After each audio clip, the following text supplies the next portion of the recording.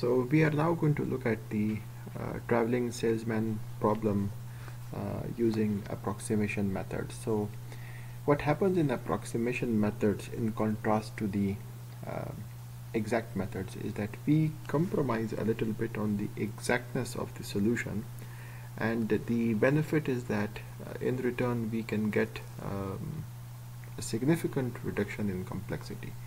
So the best case dynamic programming approach um, gives us a complexity of O n square to 2 to the power n. And uh, uh, the approximation method will be significantly less than this as we will see later on. And the reason we have uh, reduced complexity is because uh, basically we are using heuristic based approaches. So in these approaches the exact solution is not uh, guaranteed. We uh, can do a compromise on that.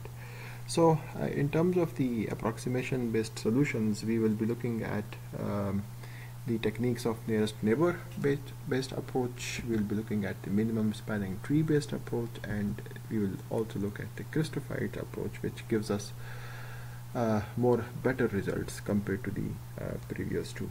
And the general idea behind all of these approaches is that we usually start with an initially good approximation. So we have a, a good initial guess and then we can gradually uh, refine or improve that initial guess. But as I said exactness is not going to be guaranteed. So the first algorithm which we are going to address is the uh, nearest neighborhood based search approach. Um, basically we have a salesman who starts in a given city any city and uh, then visits the nearest city closest to it and then the nearest city closest to that. And it keeps on doing this as long as it does not repeat a visit to a particular city. So we can take a look at this example graph uh, comprising of five vertices. In fact this is a k5 graph. And the associated adjacency matrix is uh, displayed next to it and the uh, associated set based notation is also uh, reflected next to it. So we can call this graph as uh, G. And we can also have an empty graph called G bar. So basically the vertices and edge sets of this graph is equal to null. And from this we can follow this algorithm okay so this is there are different variations of this algorithm but this is the most straightforward approach. The idea is that we start with any random vertex and uh, when we when we select a random vertex we basically keep on migrating data uh, between the graph G and the graph G bar. So when we identify a vertex we can insert it into the graph G bar and we can delete it from the graph G and while the size of uh, the original vertices in the graph G is not equal to 0 so basically this is a kind of a flag which we are going to use whether a city is going to be visited or not. So while this statement is true we keep on getting the neighbors of a particular vertex and then we proceed into the direction which is giving us the minimum weight h amongst the neighbors of that vertex. And each vertex which we find we can apply the same procedure. We can delete it from the graph G and we can insert it into, it into the graph G bar.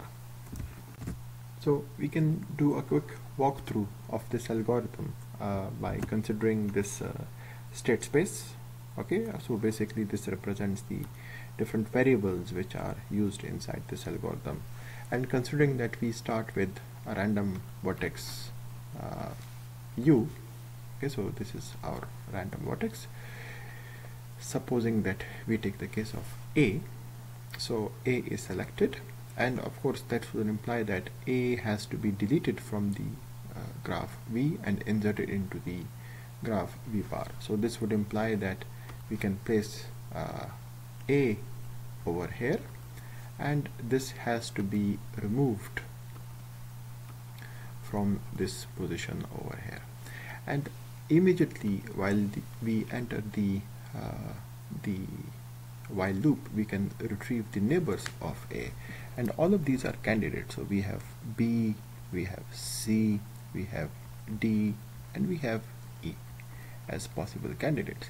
And if you look at these uh, candidates the lowest uh, cost edge over here is considered to be e.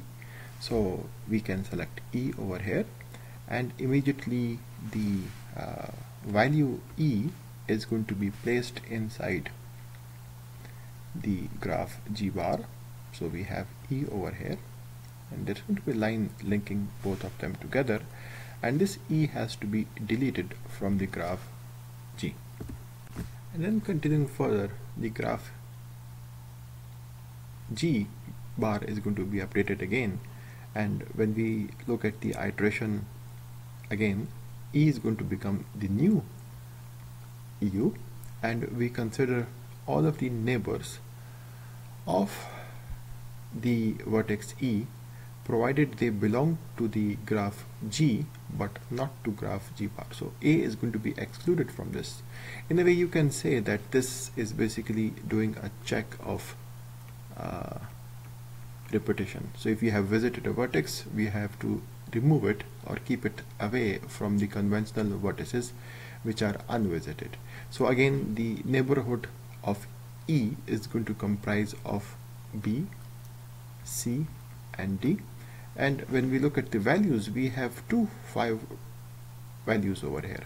So again any one of them can be selected okay? Uh, it doesn't make a difference whether you select uh, uh, uh actually it does make a difference but in terms of the algorithm uh, the value of 5 between E and B and the 5 between E and D is the same okay? So just for argument's sake we can select uh, the uh,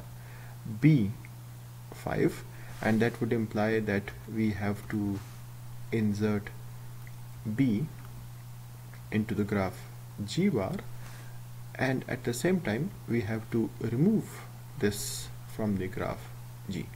And continuing further the next iteration is going to take B towards the uh, u variable. So we have b over here and again we have amongst the different uh, possible candidates either c or d. And amongst these c and d we have an option of going to d with 4 so that is basically the minimum cost. And d is going to proceed to the next iteration. And we can embed the the uh, vertex d on this side and join them together. And at the same time we have to erase the D from the original graphs. G. And the last step so basically the neighbors of uh, D which are unvisited so far so we have C as the only possible candidate. And of course since C is the minimum cost so we can choose C over here. So in a way we have just completed a kind of a Hamiltonian line. And we can uh, embed the C point join them together okay? So let's move this aside a little bit okay? So join them together and we have to get rid of the C as a visited point. And from this point we can basically add the starting point and the ending point as a last resort where we can basically say that okay this is the contribution of the nearest neighbor based up. And now if we construct the cost of this uh, uh, this um, tour so AE is 6 EB is 5 PD is 4 DC is 7 and CA is 7 so that's basically equivalent to uh, 6 plus 4 is 10 uh, 10 and 14 is 24 we have the tour of 29 over here. But you should take into account that we had faced an option of choosing one of the fives. So we had an option of 5 between E and B and we had an option of 5 between E and D. If we had chosen that uh, edge we will be coming across a tour in this manner so when all of these cities are visited we can join them together the C and A part. And A and C is basically equivalent to 7 and in this case when we total the values together so the TSP value over here is going to be uh, okay so 10 19 19 and 5 is 24 24 and 7 is going to be 31 so we have 31 as the traveling salesman's problem score in this regards. So this is actually quite different in the sense that of course we can see that uh, the previous solution of TSP is equal to 29 is better than the uh, solution which we have over here. And we can then have a question whether is it possible to have a TSP value which is even smaller than this well the only way to be sure would be if we know the exact answer to the traveling salesman problem which may not be the case.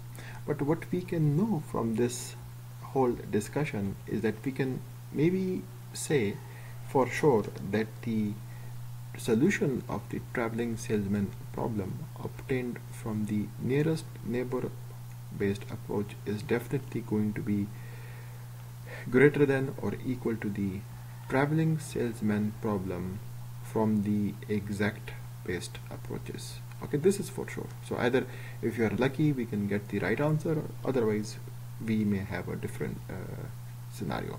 And if we bring this TSP exact to this side we can basically say that okay we can we can have the uh, a kind of a ratio where we if we divide the obtained answer by the uh, exact solution we are going to have a ratio which is going to be larger than 1 so if if both of them are exactly the same that would imply that we are going to get a 1 otherwise we are going to get a quantity which is larger than the 1 and then we have an associated question. How much larger than 1 we need some kind of bound based estimates. So generally we know that TSP exact is not known. So we don't know whether this approximation ratio is going to be good or bad because we don't know any bounds on it. In fact, bounds do exist and uh, they are widely uh, discussed in the literature. And some of the well-known bounds are given uh, right here. So uh, uh, one of the popular ones is Papadimitriou. So he has put a lower bound uh, of this ratio to be 1 over 6 log 2 of n uh, Hurkens et al. has given the lower bound as 1 over 4 log 2 of n and Rosenkrantz et al. has uh, actually given both the lower bound as well as the upper bound. So the lower bound is 1 over 3 of log 2 of n and uh, the higher bound is uh, half of log 2 of n. So this is basically a ceiling uh, and uh, plus 1 over 2 as the upper bound. So I have readjusted the uh, some of our notes uh, and uh, computed some of these ratios. So please note that you can you can you can see that all of these ratios are actually a function of n, where n is the total number of vertices. This could be misleading in the sense that if you look at the edges, the traveling salesman is basically dependent upon the upon the uh, cost of the edges. So just on face value if we take uh, into consideration the ratio so perhaps if we look at the Rosenkrantz value so the ratio which we obtained that is going to be at least 0.77 of the original value and at most it can be 2.0 these are actually quite big bounds uh, which we can have okay? These these bounds could mean a lot and this could also represent a fallacy. So for example we can take into account this this graph. And if if, if we introduce some uh, edge weight so let's say we have one one one all of them are initialized as one apart from these two. Uh, so we can choose 99 over here and uh, I can choose 2 over here. So if if you are going to follow the nearest neighbor based approach uh, we can start with the arbitrary location of a for instance. And given the uh, behavior of the algorithm it's basically going to traverse in this direction until it sees uh, that it has an option of going from D to E with a cost of 1 or D to F with a cost of 2 and of course it's going to select E over here. And then gradually since it's basically looking at a greedy kind of formulation when it comes to F it has no other option but to traverse this path and as a result we have a total cost of uh, uh, how much is it? 99 1 2 3 4 5 6 so we have 105 cost of the TSP problem over here. But we know that this is incorrect. So the actual uh, path which should be selected is actually this one over here.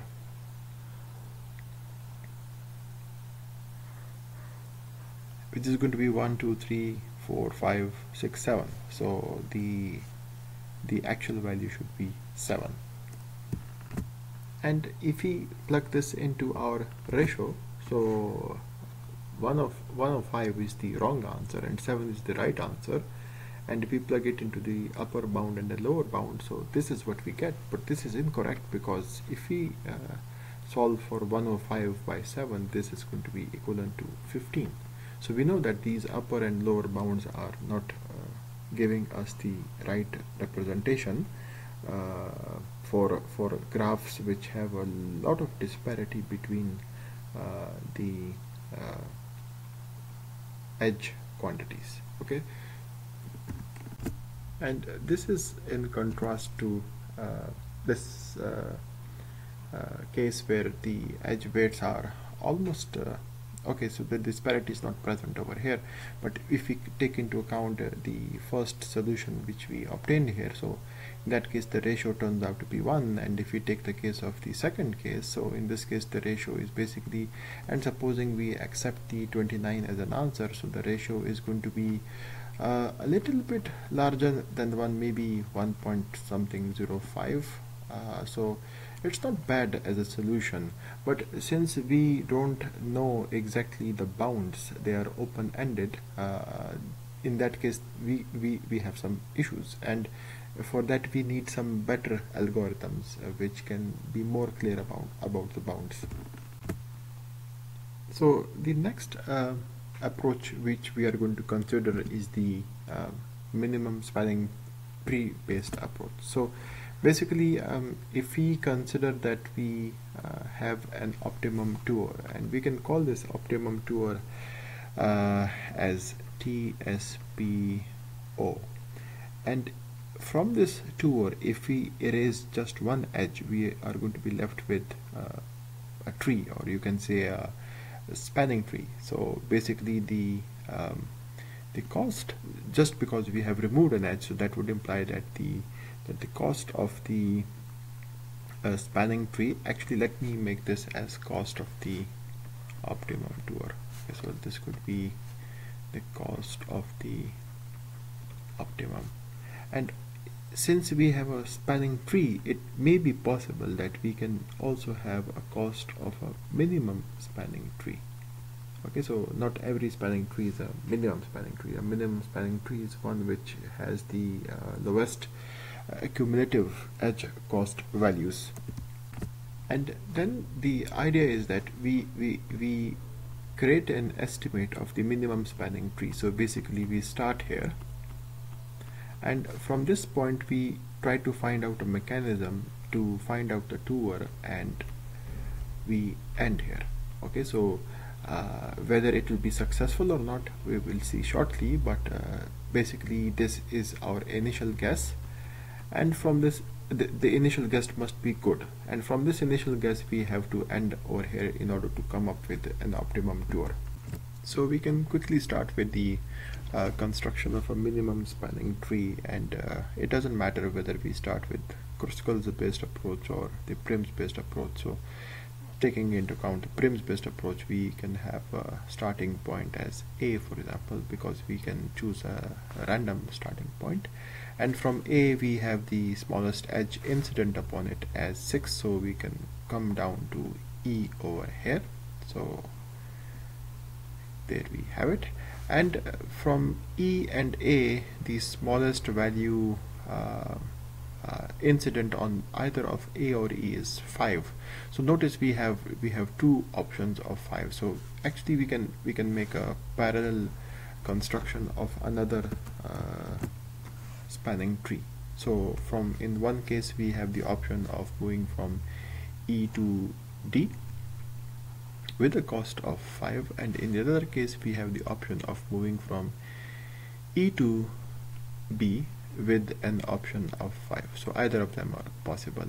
And if we are at D then of course the we can see that the uh, smallest edge which is available is basically uh, going from D to B with the cost of 4 and here in this case the 4 is also going to be selected so we can choose uh, D over here with the cost of 4 and then the only um, candidate available uh, with respect to the edges is C and, and the smallest cost is uh, going to be C with a cost of 7 okay so uh, this is the uh, minimum spanning tree. Let's call it as minimum spanning tree 1 and in this case of course uh, we select the same uh, C with the cost of 7 and let's call this as MST 2 so the total cost of this minimum spanning tree is 610 uh, this is 5 so 10 17 so this is 22 and of course this is also equivalent to 22 as the cost over here. So from these uh, MSTs we know that we have to construct a tour where we have to visit vertices once and only once and since there is a, a very big search space involved over here as already discussed uh, this is going to be difficult. Uh, we already know that uh, in contrast if we are looking at edges once and only once this can be solved in polynomial time. So uh, if we are going to solve for edges once and only once we need to convert these both of these graphs into Euler graphs. Okay so basically this is the transitioning of moving from the vertices based problem to the edges related problem. And in order to make this graph Euler we can see that uh, all of the vertices uh, which are comprising of odd degree they must be converted into uh, their corresponding uh, even degree vertices. So from these MSTs uh, from these spanning trees uh, which have just been calculated. We need to construct an optimum tour. And we know that the optimum tour implies that a Hamiltonian circuit needs to be determined. And the Hamiltonian circuit is going to be basically uh, NP it's a it's an NP problem. In contrast if we are not looking for a Hamiltonian circuit rather we are looking at an Euler circuit. So in the case of an Euler circuit we know that that can be solved in polynomial time.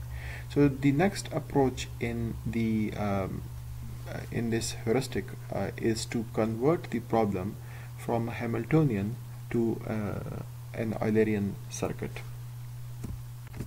And the way to do that is to basically run a depth first search on these trees which we have. So in order to do this we need to uh, identify we need to identify a rooted uh, vertex over here and it can be any vertex. So for instance if we take the case as D as the root then in that case we can realign the tree in this manner where we can say E is here B is here C is here and of course A is considered to be over here. So this is the uh, rooted uh, tree structure for the first minimum spanning tree. And for the second one actually it will be simple if we choose A over here because in that case the rooted uh, tree is simply going to be A E B uh, D and C. And now eh, we can notice that uh, the way in which this can become an other graph is that if we run a depth first search on this algorithm we are going to have D followed by E A. So basically from A we move towards E again and from E we move towards D followed by B. Let's move this aside a little bit. And from B we can then move towards D again. So this is the traversal and then we have C and then we have D again. And the same case so if you are going to look at the sequence we have A followed by E B D C. And then coming back we have to notice that we are looking at all of these uh, uh, representation so from C we can go to D B E and A. And so we can see that this is actually a tour a tour which starts at D and ends at D and here a tour which starts at A and which ends at A now we can look at a very important property. So this is basically the uh, considering distance as a metric and if we say uh, if we are at a point A and we move from A to B and from B to C uh, and if you consider that this distance is uh, summed up so the, the, the, total summation of this distance is going to be larger than if you were to move directly from A to C. Okay so basically what it implies here, is that rather than going through the lo longer route simply go through the shorter route which is uh, A to C. And we can see this this property over here a number of times. So for example if we take the case of D we see that uh, D is occurring multiple times in the sequence. So rather than uh, going from E to D and from D to B we can apply the same logic of this this this metric based approach and we can say that we can jump directly from E to D. So D can be skipped uh, in this manner. And and in, the, in this manner all the re repetitions can be skipped uh, altogether so the actual movement which we can uh, consider over here are uh, basically uh, I'll change the color. So we go from D to E and from E to A. So since A E is a repetition we get rid of it. Since D is a repetition we get rid of this. So we can jump directly from A to B. And again D is a repetition. So we go from B to C and uh, okay so this repetition is allowed because this is the first and the last node so we can come from C to D. Okay so this is the movement which is taking place. And in similar manner we can we can look at this um, uh, Euler representation also. And maybe consider that we can move in a direction from A to E, E to B, B to D, D to C. And since all of these are repetitions we can jump from C to A directly. And if we reflect these uh, these these movements over here in the original minimum spanning tree so let's let's see what is happening. So we move from D to E. So basically this is uh, this edge over here. We move from D to E from E to A and then notice we go from A to B. So notice that the uh, minimum spanning tree which we had was used as an initial approximation and now we are in a way trying to improve upon the solution which we already had. And from B we can move directly to C and from C we can come back to D as the as the starting point. And the same case over here. So we already have this. We have a movement from A to E from E to B from B to D from D to C. And the last one is basically movement from C to A.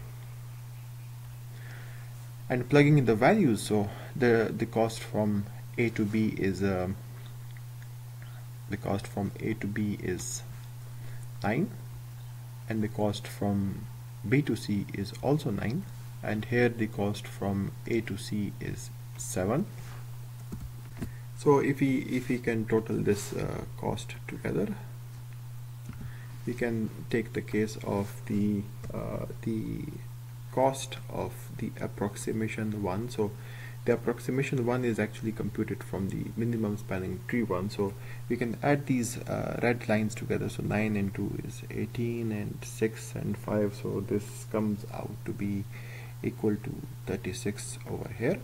And if we do the same case of the approximation score of CA2 so in this case we have uh, 22 and uh, we can take the case of uh, 7 so 22 and 7 is 29 and these are the two uh, options which which are available to us.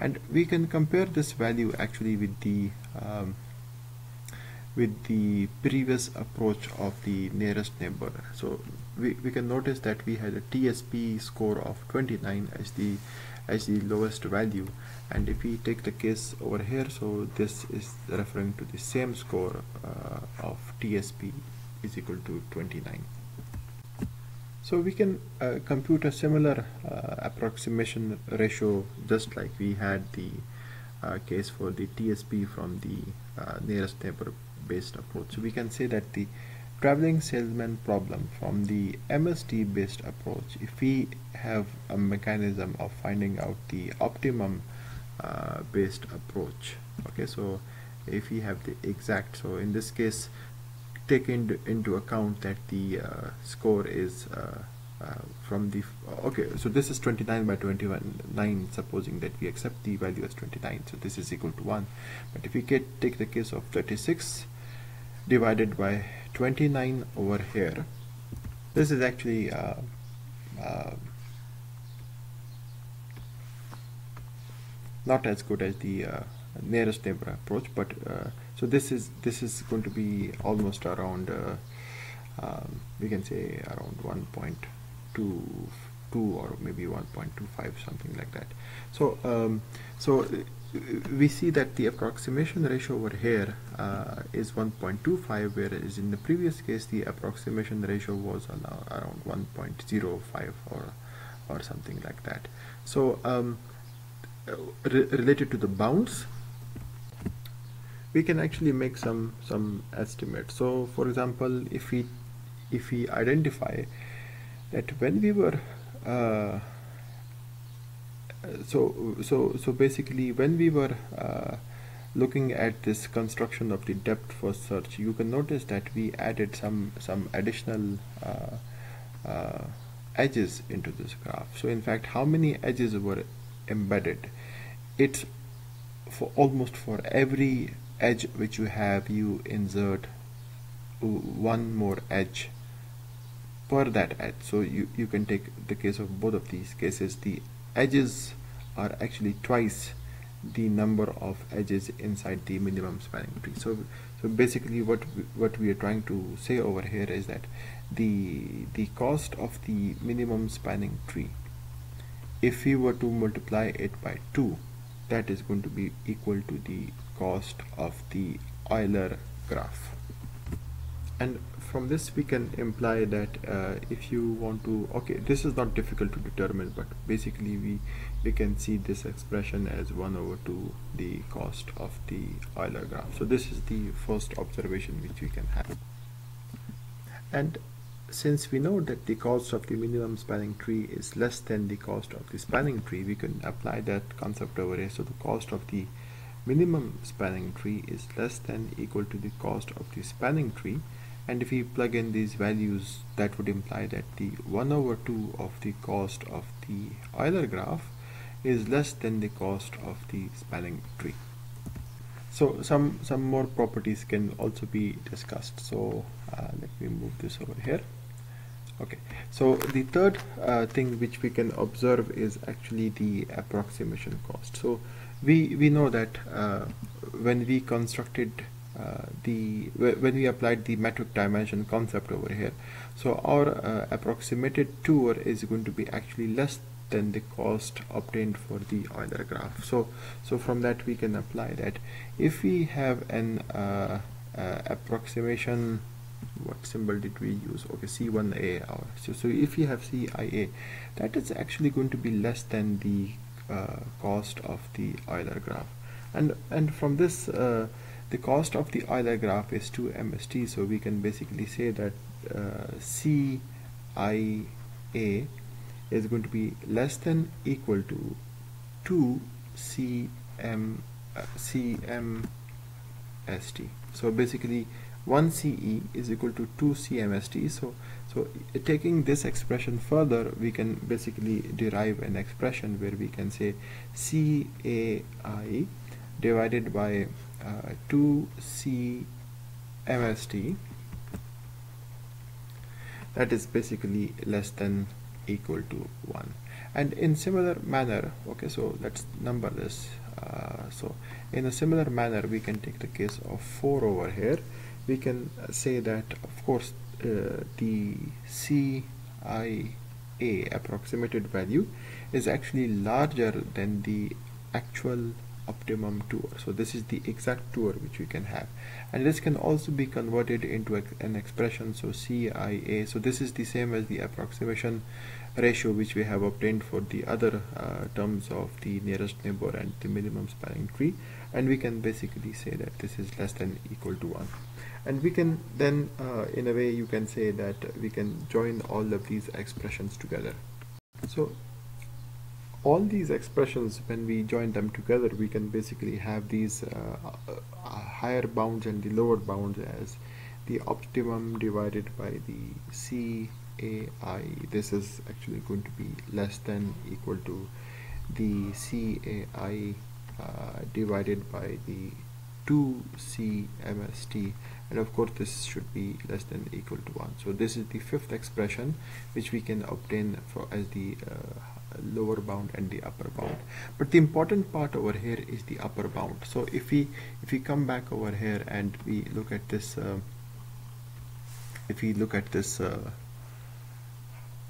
expression this is basically telling us that the tour which we obtain okay so this tour which we obtained this tour is going to be uh, in the worst case twice the cost of the minimum spanning tree so the last approach is basically the Christofides's approach. The Christofides's approach, uh, in fact, the starting point of the minimum spanning tree and the Christofides uh, approach is uh, actually the same in the sense that Christofides also works with the uh, minimum spanning tree. So we can just retrieve the minimum spanning tree outcome com computed from the last approach uh, in this in this manner over here. So the next step would be is that we have to identify all the odd positioned uh, vertices. So we have to put it into a set. So this is going to comprise of A, B so the degree of uh, um, uh, D vertex over here is uh, is 3 so we can place D over here and lastly we can place C over here. And you can notice that the odd degree vertices are of an even quantity okay? So uh, likewise we can compute the uh, set over here which is going to only comprise of A and C. And on the basis of this uh, members of the set we can construct a, a fully connected uh, you can say uh, representation which is going to take into account that A, B, D, C are all connected to one another. And we can bring in the the the edge values. Okay the same the same is going to be the case over here. So um, we have to construct a full graph comprising of A and C and we can plug in the value. So the A B cost is uh, 9 the cost of A to D is 8 the cost of B to C is 9 the cost of A to C is 7 the cost of B to D is 5 and lastly the cost of D to C is 7 over here so um, and of course A to C is 7 over here also. So what we need to do is that we need to take this and construct a, a kind of a perfect perfect matching. And in this uh, um, perfect matching we have to uh, imagine two two sets. So in the first case we have uh, the smallest edge over here should be actually 4 so uh, let me zoom in a little bit. Db db is actually db is 4 so we can we can we can fix this actually. So let me erase this part. Okay so we can place db as 4 and we we place this uh, this quantity d and b over here comprising of the first uh, you can say the matching of minimum cost over here. And then the second value since since d and b are now utilized we we don't have the option of uh, using anything else. So the remaining vertices we, we are left with is AC so we can basically plug in A and C over here with a cost of 7 and in fact this is the uh, uh, smallest possible matching the perfect matching which we which we can which which we can uh, construct for for these pair of vertices.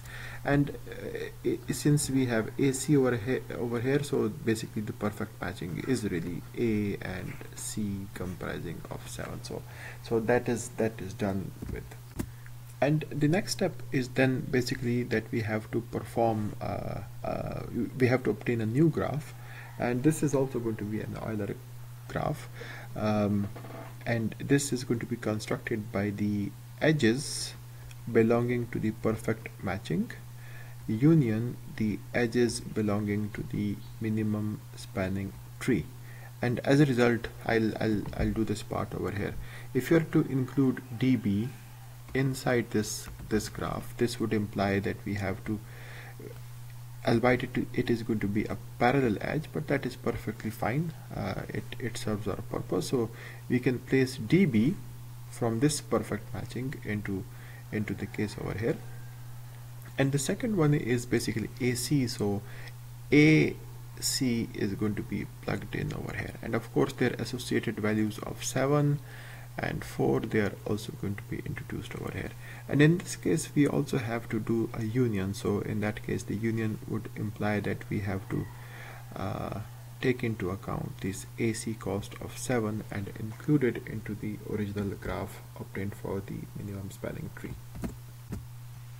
And now the idea is that we have to apply the same distance based metric approach and we have to construct an Euler graph. So in this case the Euler graph which we, we can start anywhere okay? So basically the Euler graph which we which we can construct is um, uh, starting with A going towards E going towards D from D we can move towards B and then D. And from D we can move towards C and then it ends at A. And likewise if we notice that this is already uh, A E B, D, C and A. Okay so these are the two two options which we have. And applying the distance metric based approach so the kind of movement which we are actually looking at is A to E E to D D to B. So this needs to be skipped. We have to move directly from B to C and then from C to A. And of course this is perfectly fine. We don't have to make any skips over here it is all already in the lowest possible uh, distance uh, metric representation. And these uh, traversals which if we if we plug them in over here so this is going to be AE followed by ED from D we have to move towards B and from B we move towards C and then from C we move towards A. So um, notice that uh, some some some uh, new additions have taken place and we can take into account these costs. So for example the cost of BC so the cost of B to C is 9 and we can construct the uh, cost. So here the cost of the Christofides approach on the basis of the minimum spanning tree 1 is going to be equal to uh, we have 7 plus 9 uh, plus 4 plus 5 plus 6 so this comes out to be 10 19 24 31 so this is 31 and if we take into account this uh, uh, traversal so this is our tour. And since this is 22 plus 7 so this comes out to be uh, the cost of the Christofides algorithm on the basis of the second minimum spanning tree is basically equal to 29 so what can be observed from here is that if we construct the ratio so so here the ratio is basically uh, the the CCA 1 divided by the optimum tour. So uh, supposing that we accept the 29 as an optimum tour so this is the CO so that is going to be equivalent to 31 divided by 29 which is the same expression which we obtained over here. So 29 uh, this is uh, 39 divided by 29 so this is around 1.04 or 5 we can we can plug this in over here and notice that the interesting thing is that if we compare the Christofides approach and the minimum spanning tree based approach so basically the starting and the ending point of both of these algorithms are the same. But when we when we considered the um, approximation we obtained 1.25 over here whereas over here we are obtaining 1.04 so this signifies that the Christofides approach is better in terms of uh, the accuracy of the traveling salesman problem compared to the minimum spanning tree based approach. Just by replacing the uh, depth first search with the concept of the of the of the perfect matching. In that we do know that the um, basically the the uh, cost of the CA based approach the Christofides approach is going to be uh, greater than the cost of the optimum based approach. But by what order? Well the literature says that this is this is going to be uh, to the order of CFI should be to the order of 3 by 2 CO okay so so it's it's much better than than the nearest neighbor uh, than the minimum spanning tree based approach where we were looking at uh, 2 CO as the as the consideration so um, that's it about the uh, traveling salesman problem using approximate based solutions. Uh, you will recall that in all of these three different examples we were looking at uh, uh multiple solutions. And we we noticed that uh, uh, in both of the in all of the cases we were able to um, obtain the correct solution depending upon the chance that the starting seed in the form of either the nearest neighborhood based approach or the minimum spanning tree. Uh, so it really depends upon the starting seed and that starting seed uh, can uh, allow us to get the right answer of the TSP or maybe perhaps the wrong answer of the TSP so thank you very much. Goodbye